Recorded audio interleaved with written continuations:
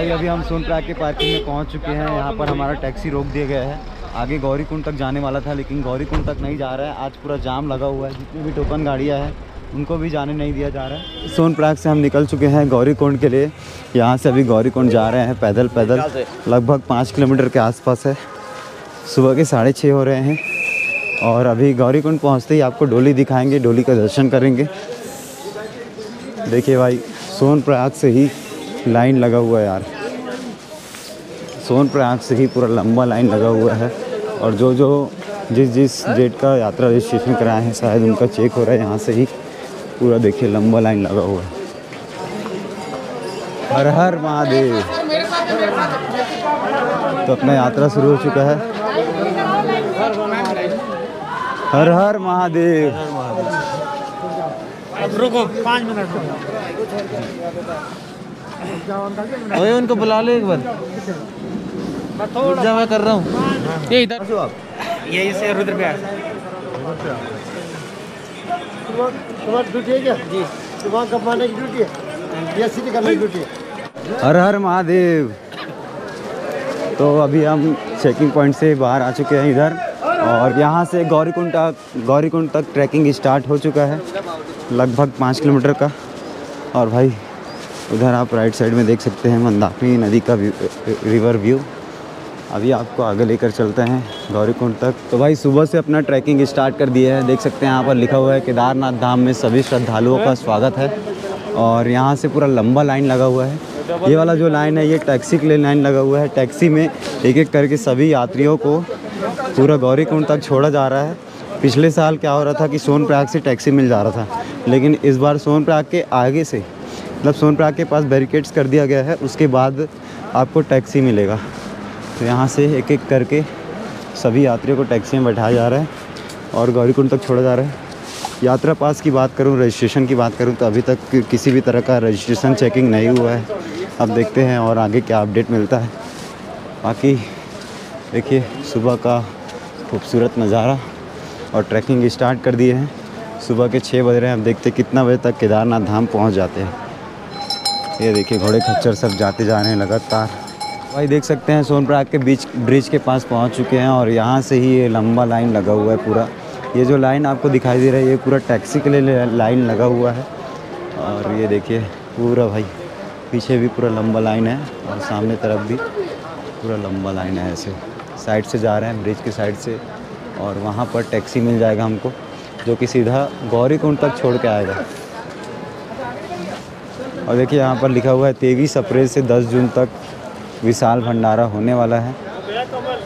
और ब्रिज के उस पार आप देख सकते हैं, लाइन से पूरा टैक्सी लगी हुई है जो गौरीकुंड तक छोड़ रही है सभी को। बाकी आप इधर का व्यू देख सकते हैं, इधर पूरा मंदाकिनी रिवर जो है वो बहते हुए आ रही है। इस पर जो बड़ा टैक्सी, बड़ा वाला जो ब्रिज है, इसमें घोड़े खच्चर लोग जा रहे हैं। बाकी छोटे ब्रिज से पैदल यात्रियों को जाने के लिए दिया जा रहा है। आगे टैक्सी पूरा लाइन से लगा हुआ है। इस बार टैक्सी आपको सोनप्रयाग के इस वाले ब्रिज से आगे मिलेगा और टैक्सी का किराया वगैरह आपको मैं आगे बताऊँगा, आगे ट्रैकिंग में क्या क्या अपडेट मिलता है, सब चीज़ बताऊँगा। तो देखिए भाई, यहाँ से बैरिकेड है और एक एक करके सभी टैक्सी निकलते जा रही है गौरीकुंड के लिए। अब हम भी निकलेंगे, यहाँ से किराया आपको मैं बता दिया हूँ, मात्र पचास रुपये का है। तो अब चलते हैं गौरीकुंड के लिए और देखते हैं कितना बजे तक पहुँचते हैं। और कोशिश रहेगा कि डोली के साथ जाने का, डोली कवर करेंगे। गौरीकुंड के लिए टैक्सी बैठ गए बोलो भोले गौरीकुंड। जय!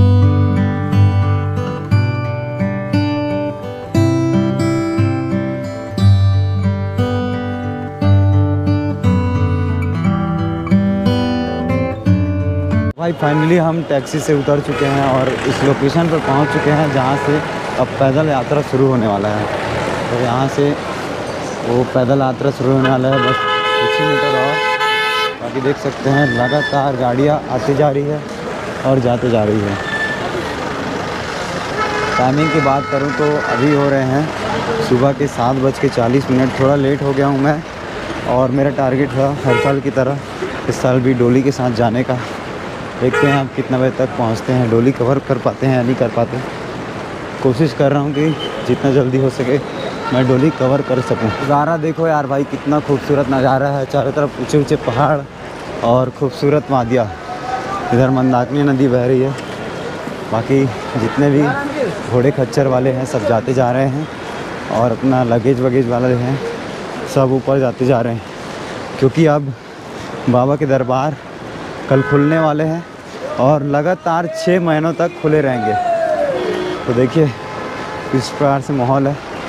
बाकी यहाँ से अब पूरा पैदल ट्रैकिंग स्टार्ट हो चुका है। ये हम पहुँच चुके हैं अपने डेस्टिनेशन के पास और यहाँ से जो केदारनाथ का ट्रैकिंग है, वो 22 किलोमीटर का है। लिखा 16 है, लेकिन 22 किलोमीटर का ट्रैकिंग यहाँ से स्टार्ट होने वाला है। पूरा पैदल यात्रा करने वाला है। टाइमिंग की बात करूँ तो अभी सात बज के पचास मिनट हो रहे हैं। अब यहाँ से मैं स्टार्टिंग कर रहा हूँ। आठ बजे के आसपास अपना ट्रैकिंग स्टार्ट कर रहा हूँ। और यहाँ से लगभग 16 किलोमीटर लिखा हुआ है, लेकिन 22 किलोमीटर का ट्रैकिंग है। चलिए अब चलते हैं अंदर। और बस बाबा महादेव का नाम लेके अपना ट्रैकिंग स्टार्ट कर दिए है। देखिए, सब घोड़े खच्चर आते जा रहे हैं, नीचे भी और ऊपर भी जाते जा रहे हैं। और यार, अभी से ही सांस ज़्यादा फूल रहा है क्योंकि जो बैग का वज़न है, वो बहुत ज़्यादा हो गया है। और बाकी देख सकते हैं, रास्ते भर में पूरे घोड़े खच्चर हैं। बस कुछ ही किलोमीटर और, उसके बाद गौरी कुंड आने वाला है।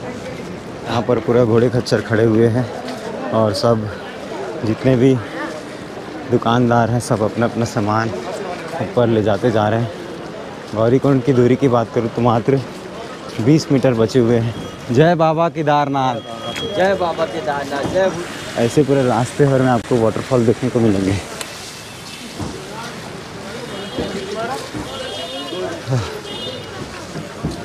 बस ट्रैकिंग स्टार्ट है भाई। अब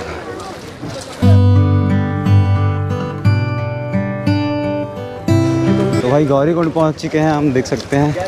पूरा ये गौरीकुंड का वाहन पार्किंग स्थल है। कुछ कुछ लोग यहाँ पर अपना अपना बाइक लाए हुए हैं। देखिए और यहाँ से बाबा केदार की डोली अब निकलने वाली है। देखते हैं क्या अपडेट है। डोली निकल गया है या फिर निकलने वाली है, देखते हैं। इधर राइट साइड में एक और रास्ता है जो गौरी कुंड का गरम कुंड लेकर जाता है।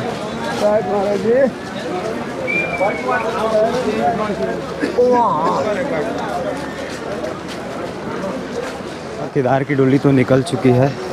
तो फ़िलहाल अब हम आपको गौरी कुंड का व्यू दिखाता हूँ। क्योंकि डोली तो कवर नहीं कर पाएँगे, बहुत ऊपर निकल चुका है।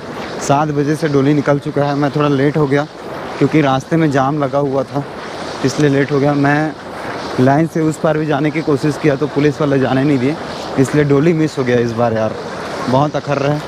तो फ़िलहाल मैं आपको लेकर आ गया हूँ गौरी कुंड की तरफ़। और यहाँ जो गर्म पानी का कुंड है, वो मैं आपको दिखाने वाला हूँ। तो ये वाला रास्ता गौरी कुंड लेकर जाता है। इसके इस पर जो रास्ता है, वो पूरा केदारनाथ ट्रैकिंग का रास्ता है। बाकी गौरी कुंड के पास इधर राइट साइड में मंदाकिनी रिवर बह रहा है। इतना खूबसूरत लग रहा है, देखिए। पूरा नदी का कल कल आवाज़। सुनाई दे रहा है और बाकी ये पूरा पहाड़ी व्यू। तो यहाँ से चलते हैं सीधा सीधा गौरी कुंड के लिए और गौरी कुंड में जो गर्म पानी का जो स्रोत है, वो दिखाएँगे जहाँ से गर्म पानी निकलता है